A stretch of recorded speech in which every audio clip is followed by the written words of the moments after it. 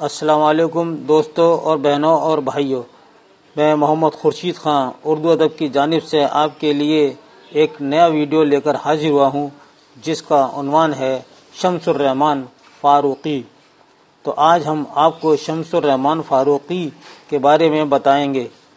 تو آئیے اپنا پین اور کاپی نکال لیجیے اور شمس الرحمان فاروقی کے بارے میں ہم پڑھتے ہیں، اس کو آپ ضرور لکھ لیجیے۔ دوستو، شمس الرحمان فاروقی ہمارے ایل ٹی کے امتحان کے سلیبس میں ہیں۔ تو آئیے شروع کرتے ہیں شمس الرحمان فاروقی کی ادبی خدمات۔ دور جدید کے صاحب طرز ادیب نقاد۔ شمس الرحمان فاروقی کا نام کسی تعلق کا محتاج نہیں ہے۔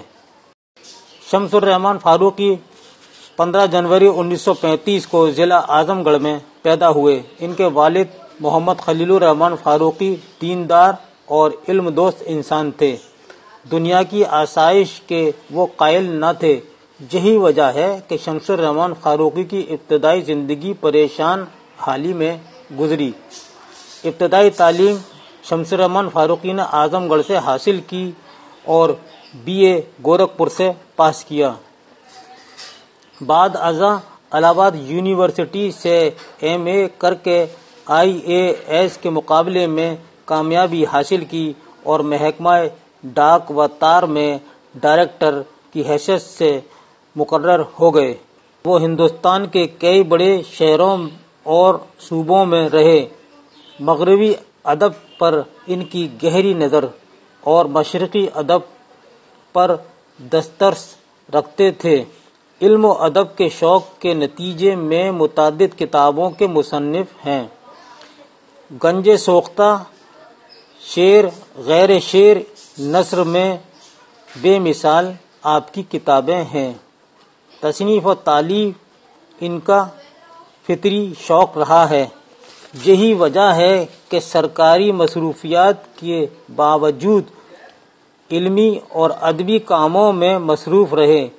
تنقید اور نثر کے ساتھ شاعری میں بھی کمال حاصل کیا۔ الہباد سے ماہنامہ شب خون نکالا، جو تقریباً چوتھائی صدی سے مستقل شائع ہو رہا ہے۔ شب خون جدیدیت کی نمائندگی کر رہا ہے۔ نیز اس بات کا ثبوت ہے کہ شمس الرحمان فاروقی جدیدیت کے پروردہ اور دلدادہ ہیں۔ شمس الرحمان فاروقی، جہاں جین آسٹین اور جیمز جوائس کی تحریروں سے متاثر رہے، وہاں مجنو گورکھپوری، کلیم الدین احمد کے اسلوب اور طرز نگارش سے بھی مانوس رہے۔ وہ ادب میں محض افادیت اور مقصدیت کے قائل ہیں۔ شمس الرحمان فاروقی دنیا ادب میں بے لاگ، بے مثل نقاد کی حیثیت سے ادب کی خدمت کر رہے ہیں۔ وہ ادب کو فرسودہ خیالات اور فرسودہ نظریات سے باہر نکالنا چاہتے ہیں۔ شمس الرحمان فاروقی کی ہم نے کچھ کتابیں یکجا کی ہیں۔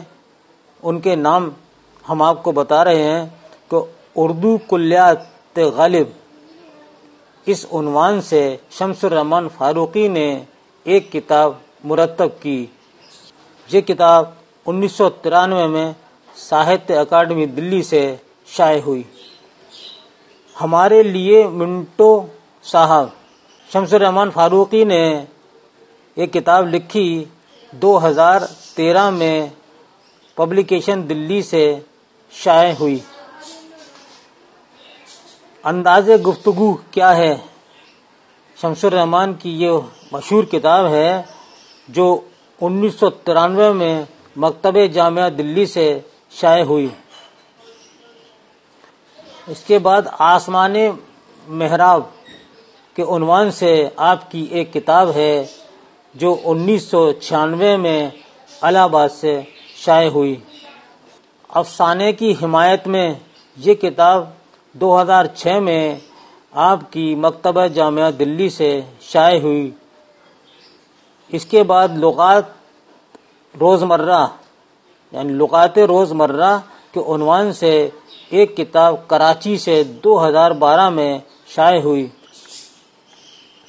مورکائے وہاب اشرف کے عنوان سے آپ کی یہ کتاب دو ہزار میں دلی سے شائع ہوئی۔ تو یہ شمس الرحمان فاروقی کا مختصر مضمون ہے۔ امید ہے یہ آپ کو بہت پسند آئے گا۔ اس کو آپ اپنی کاپی پر، نوٹ بک پر ضرور لکھ لیں۔ یہ انشاءاللہ اسی میں سے سوالات آپ کے بنیں گے۔ تو میں نے ان کتابوں کے اور ان کی ادبی خدمات کے بارے میں آپ کو بتا دیا۔ اور ان کو آپ ذہن نشین کر لیجیے۔ اس کے ساتھ ہی اپنے دوست محمد خورشید خان کو اجازت دیجیے اللہ حافظ۔